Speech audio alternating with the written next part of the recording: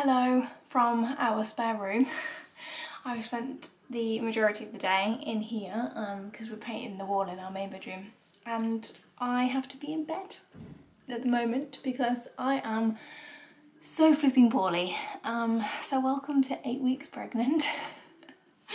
it's been, um, I think this is like my third week of constant nausea from the minute I open my eyes to the minute I close them at night and I'm on struggle street. I am struggling as you can see. My hair needs a wash. I am just in the most basic clothes ever. I haven't worn makeup for ages and yeah, it's tough. It's really hard. Um, however, we had a little scan, a little eight week scan and the little prawn is growing nicely. I actually put them in a little book to show mum and dad because we've told our parents that we're pregnant now.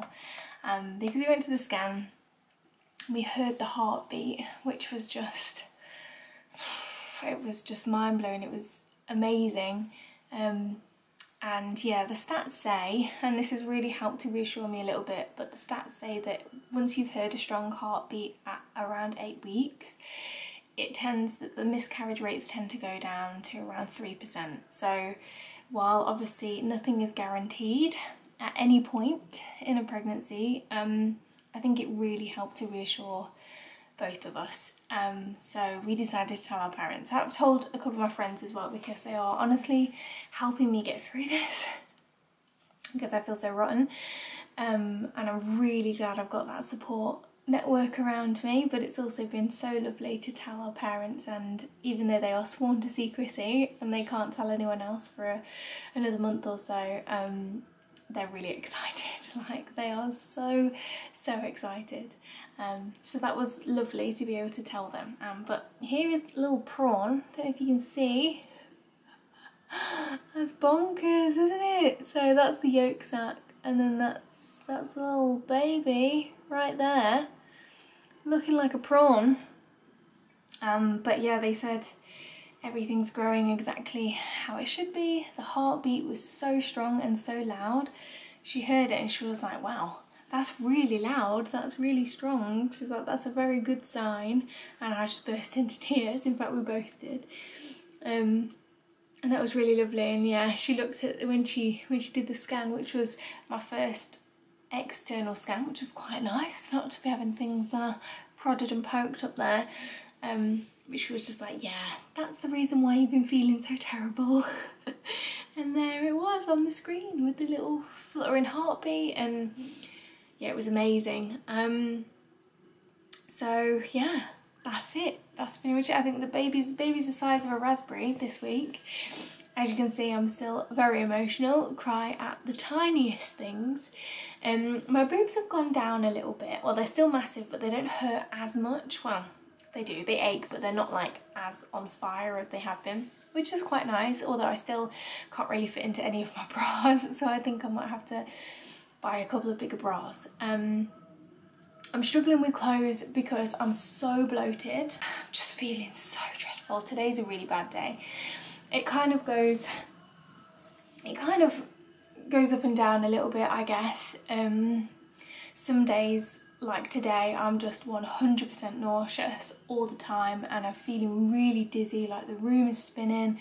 I still haven't actually been sick yet, touch wood, although I don't know if just like being sick might help me or whatever, but hasn't happened yet. Very gassy, that's another thing, and then that makes me feel even more sick. Um, but yeah, the room is spinning, so I'm just, I have to sit down or lie down pretty much all the time. Just walking downstairs or just walking, standing up to get a drink is really, really hard. I get so out of breath, which apparently is to do with elevated progesterone levels I was reading, which is quite interesting. Um, and yeah, I just, I feel rotten. I feel totally, totally rotten. And of course, I am so, so grateful for this pregnancy. Um, I feel like that goes without saying, to be honest. And if anybody comes at me and says, you don't have a right to complain because there's so many people who can't get pregnant, yes, you do. Pregnant people, you do have a right to complain because it is awful. I know that there's people out there that don't suffer from morning sickness and feel totally fine, others that get it even worse than me. Um, but it's really hard and it's okay if you're really not enjoying it at the moment. I love the fact that I'm pregnant. I'm really not enjoying this morning sickness and this nausea. It's not morning sickness, it's pregnancy sickness. That's what we're going to call it from now on because morning sickness is a scam. It's fake news. Good days, I'm around 50% nauseous. So when I say that I'm feeling a little bit better, I'm not feeling better, but I'm just about 50-50 or 75% nauseous as opposed to 100% feel like I'm gonna vomit all the time and can't see straight. So yeah, it's it's really tough. It is really, really tough. But we have our midwife appointment next week. We were supposed to have it yesterday or the day before, but it got cancelled um, because the midwife was off poorly. So um, we're not in until next week, which is when we will be nine weeks pregnant. That's, that's pretty much my update at the moment on Struggle Street. Not loving the nausea, but very much loving being able to tell our parents that we're pregnant and sharing the excitement with them. And yeah, it's all cool. Hopefully I'll be a little bit chirpier the next time we speak because it's just a struggle. but yeah, welcome to eight weeks pregnant. And um, yeah, still crossing everything and hoping that uh, little prawn is growing nicely. Certainly feels like they're kicking my ass at the moment, so they're obviously doing something in there, so we shall see. I will see you next time. I look like an absolute mess. What do you think, Toby? Can't smell your breath at the moment. You're so cute and I love you very much. But you need to point your face that way because I can't smell your breath. It's too much. I'm sorry. Um, hi, welcome to my nine week pregnancy update. I just look at this, just look at this. I'm a broken woman. Um, I've already filmed this once. I think I've like dropped noodles down myself as well, so just just ignore it all. Um, I'm a broken woman. Still haven't been sick. And I'm touching wood, but I'm not sure if that's a good thing. Like sometimes I just think if I was just able to be sick, I might get a bit of relief from it for a little bit, but consistent nausea and it's really getting me down. This is where I'm at right now. um, I'm so tired, like so, so tired. And I must admit, I'm really enjoying being able to sleep, although the heat wave this week is making that quite difficult. Um, but I'm really enjoying being able to sleep because you know me, I'm a chronic insomniac. So it's amazing for my head to hit the pillow and then I'm gone straight away. For those of you who can sleep like that normally, I'm very jealous.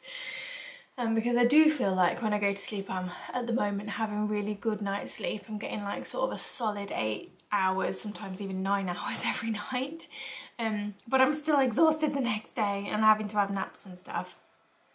Or maybe not as tired as I was last week maybe I don't know or if I don't know if that's just positive hopeful thinking thinking that things are getting a bit easier um, but I'm struggling yeah I am I'm so so tired however um, I'm trying to cut myself some slack with that and not beat myself up too much about it because uh, it, like, you kind of feel like you're being lazy or you, you're a bit pathetic because you're so tired but I keep having to remind myself that I am growing a human being and that's pretty huge so no wonder I'm tired. It's exhausting all the time even though I'm doing nothing and that I must admit is starting to drive me a bit mad because I'm not really leaving the house much because I'm just feeling so so sick um, and yeah I sort of you know me I don't do well just sitting around resting even though that is probably what I need to be doing right now because I'm not feeling great but I'm starting, it's starting to drive me a little bit bonkers. Um, I don't actually have any jobs on at the moment, which again is worrying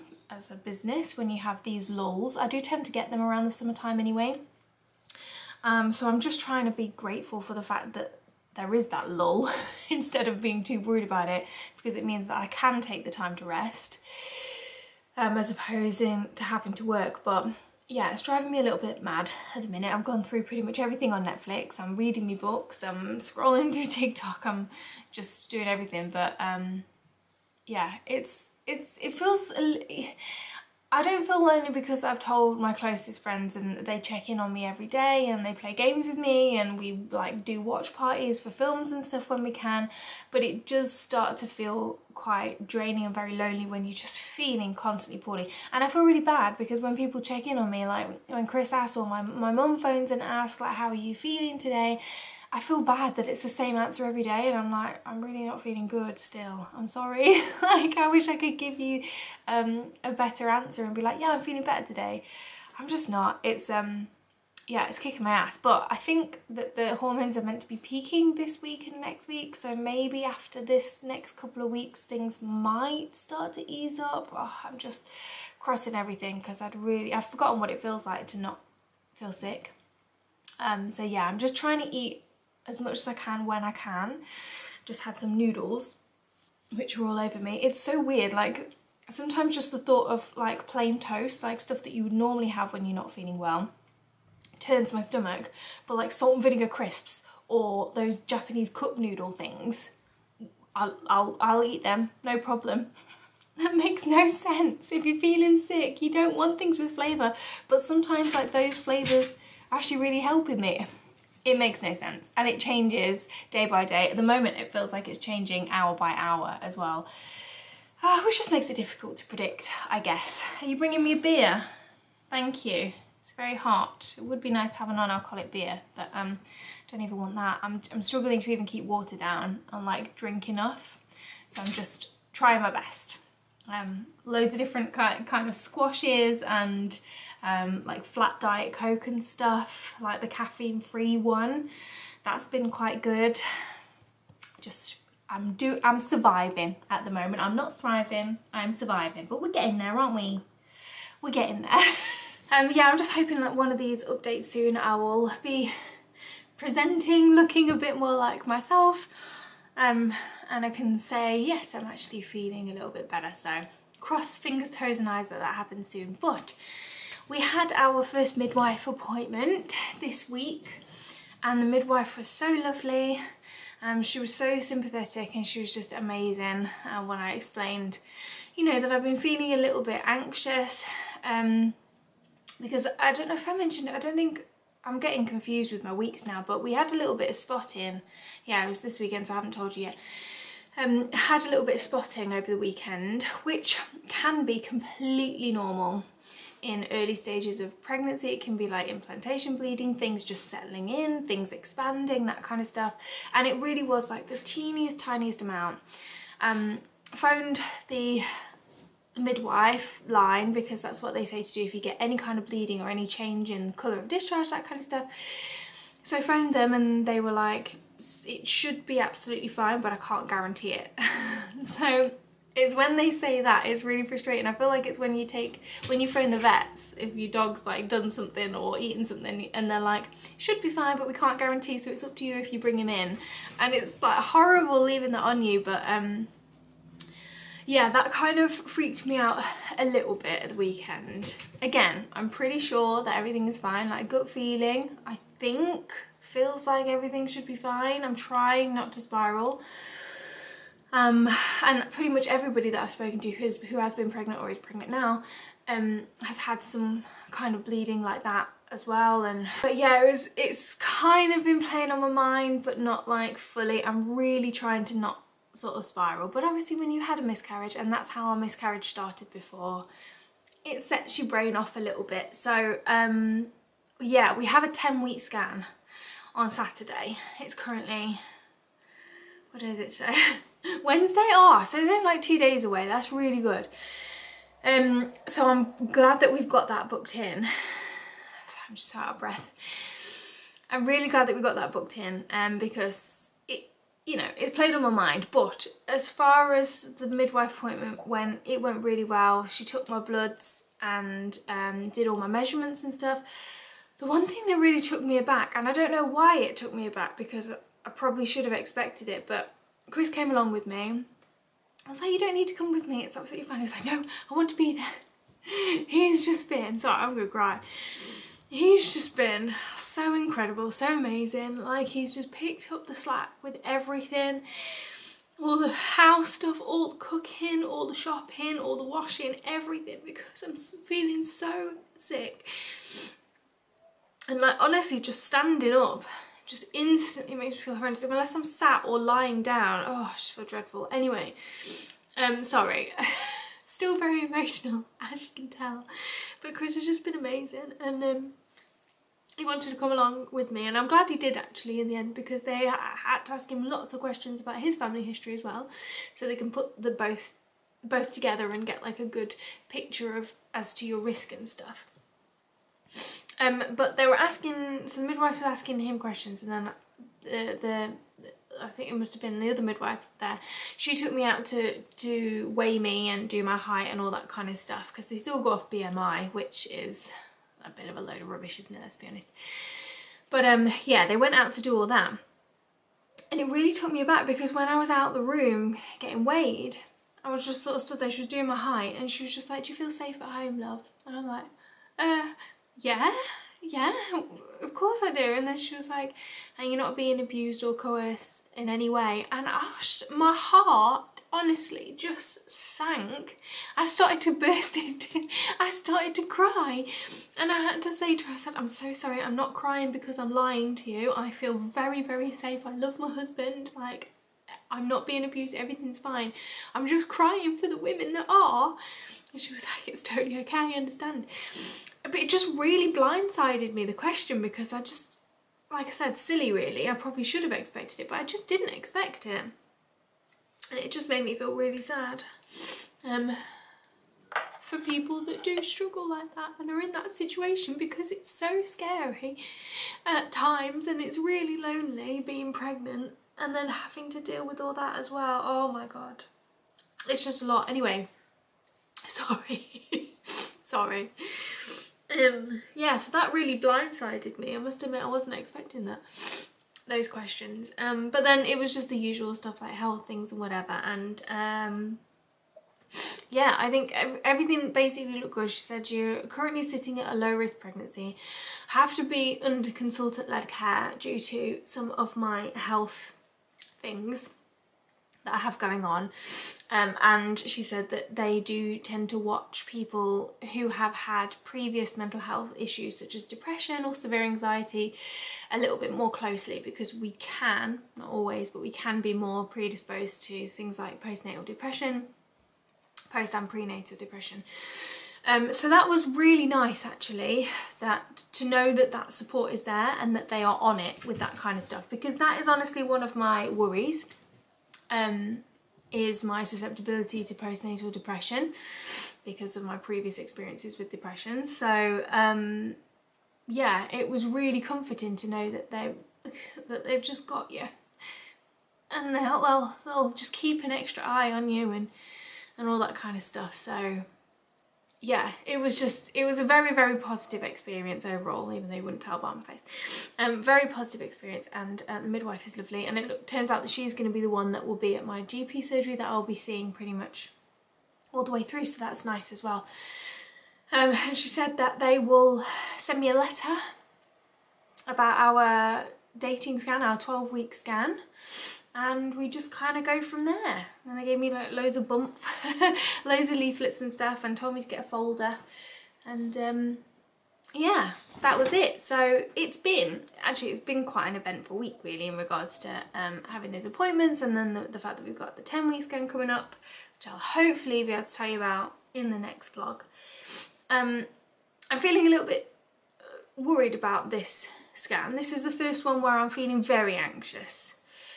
I felt like the other ones there was always that little bit of anxiety because, you know.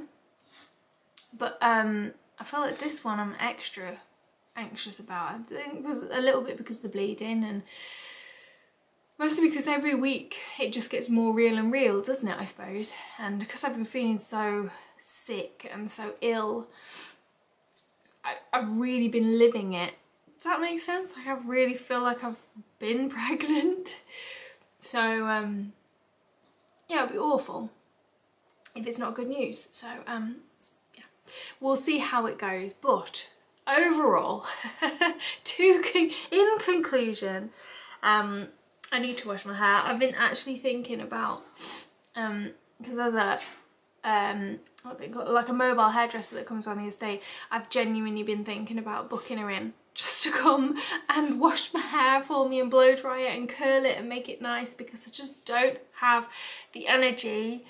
Um, and yeah, I'm, I'm tempted. I'm actually tempted to be like a be like a grandma and get a lady to come in and style my hair and try and make me not look this rubbish because I'm actually aiming to leave the house on Friday um, which I'm again really nervous about but I'm going with my bridesmaids and they both know and they're you know so if I need to bail or run to the loo or anything then they totally understand but um, yeah we're going out for lunch and stuff and it's it's really nerve-wracking going out in public out of the safety of your house without your bathroom close by so um, yeah I kind of want to try my best to look nice for that.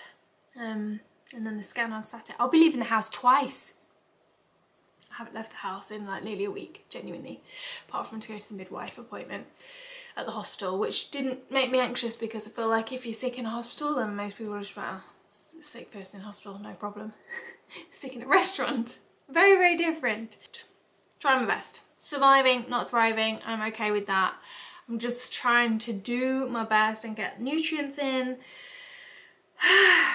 and just be the best pregnant person I can be, which I haven't felt like I've been beaten because I've just felt so rubbish, but it's all part of the game. it's all part of the beauty of pregnancy. um, yeah, I found that like the secret chats on Flo have been really quite helpful because they're completely anonymous. You don't have to like sign up and make an account and all that kind of stuff. You can just go and you can just post. And I have to say that I posted something the other day in like the pregnancy sickness bit. It was really reassuring reading down and reading other people's stuff and seeing that other people feel the same and I just shared my thoughts and I, I realised this morning because I hadn't checked. I had like five, six messages from people replying to me and telling me that I'm doing really well and that they feel exactly the same and I'm not alone and that was really quite nice. Because yeah, you shouldn't do because you're doing something incredible. You are creating a person from scratch. But you do kind of feel, sometimes you just feel a bit pathetic and I just feel like I'm not doing a very good job. But I am. This is nine weeks. It is brutal. and um, just crossing fingers, toes and eyes that I start to feel a little bit better or just get a little bit of relief. I'd really like a day off. Can I just schedule a day off from being pregnant and feeling sick all the time? Just go out like have like loads of food and be able to like down loads of water without worry. No, just got to keep going with it. Okay. All right then, just Let's go, week 10, fingers crossed.